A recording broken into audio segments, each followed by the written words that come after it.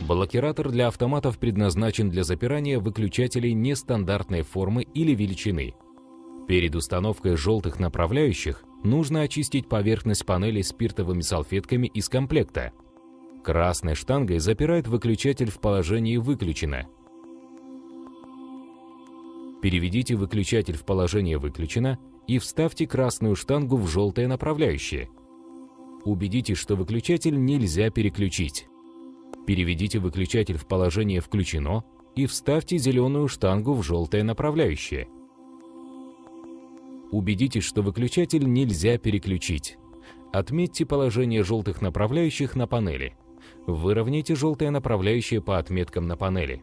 Снимите с клейкой ленты на основании желтых направляющих защитную пленку и закрепите направляющие на очищенной поверхности. Прикрепите держатель штанг на панели, чтобы хранить те, что не используются.